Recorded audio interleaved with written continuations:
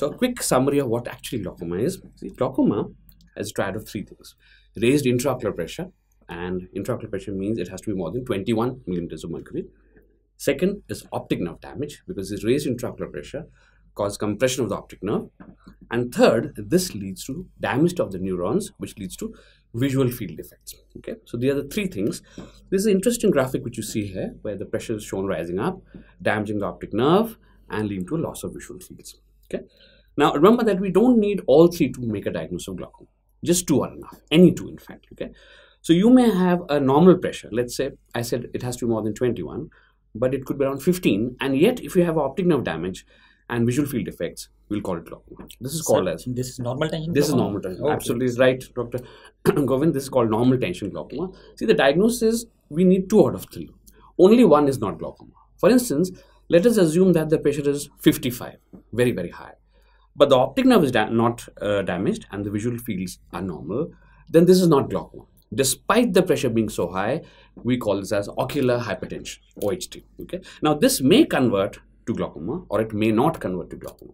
But right now, it is not glaucoma. Okay. So, this is a definition. We need two out of three. And then, what are the predisposing conditions of glaucoma? We should know that amongst our friends, our relatives, who of them are going to develop glaucoma. The first one is the race. The Afro Americans, the colored races, particularly, have a lot of glaucoma. Okay, particularly those with dark skin in Africa, in Afro Americans, they have a very high predisposition. to glaucoma. Indians, for instance, we do have glaucoma, but it's mostly normal tension glaucoma. Thin corneas. Please remember, thin corneas, the CCT stands for central corneal thickness. Most of you are aware that normal thickness is between 50, 500 to beg your pardon, 500 to 600 microns.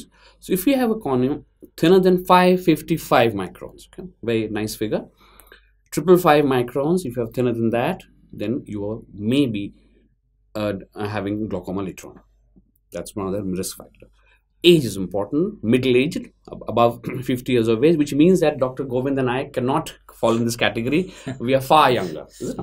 So, those of you who are more than 50, Hmm. So this is chronologically, it's not Yes. mental age. No.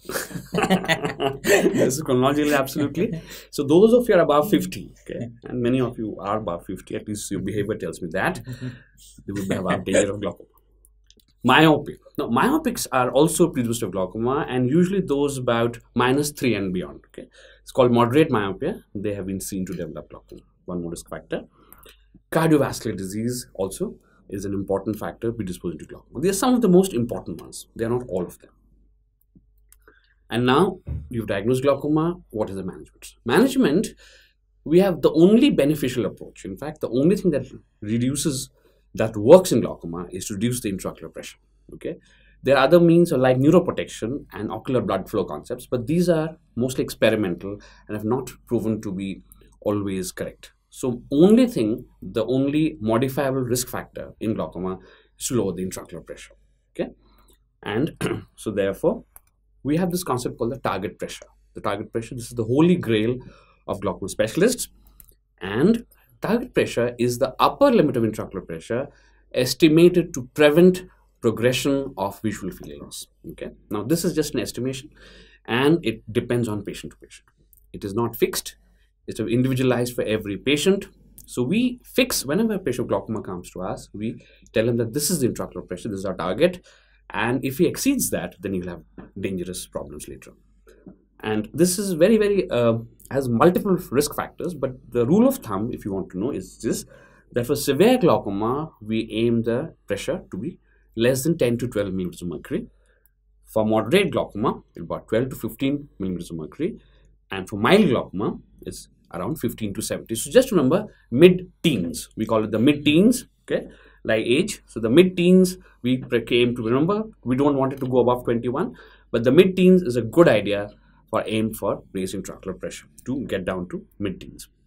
So how do we lower intraocular pressure? And here the most important strategy are the anti-glaucoma drugs. Anti-glaucoma drugs, remember, will lower intraocular pressure. And here you must know one thing, that aqueous outflow, 80% of the aqueous flows out to the trabecular meshwork pathway in a normal patient and around 20% goes out through the uveoscleral pathway.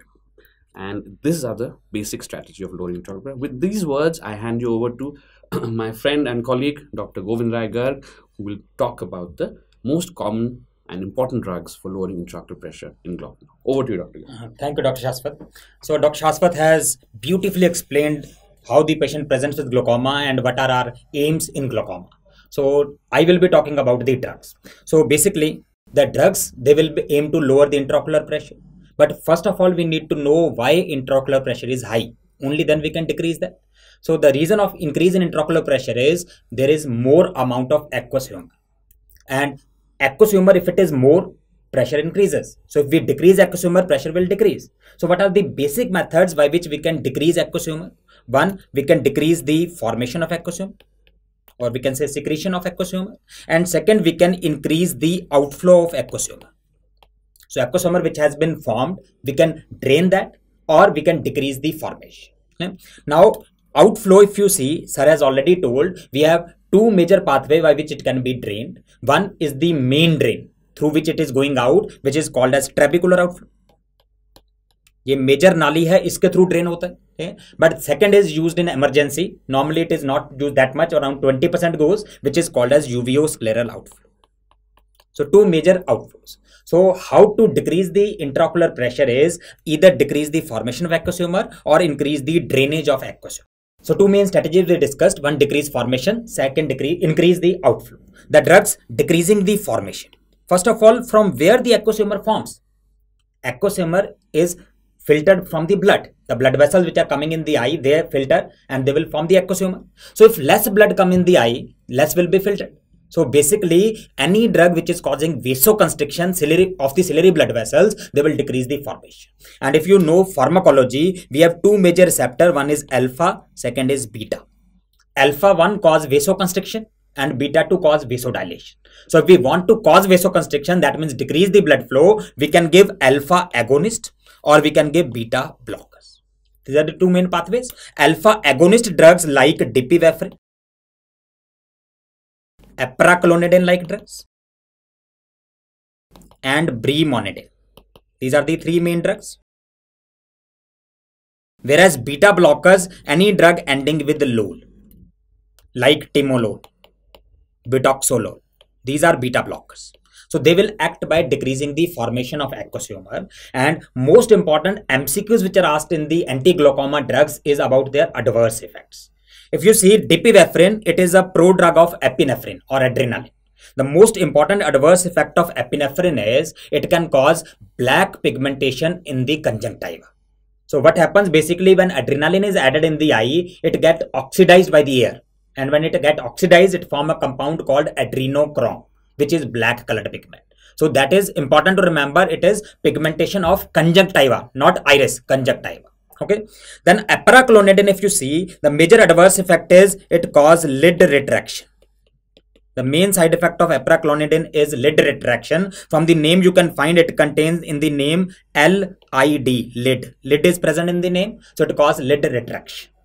Brimonidine is avoided in the young patients, particularly less than 2 years babies because it causes brain suppression. It causes apnea in the newborn babies. So the name says BR means brain suppression. It causes brain suppression.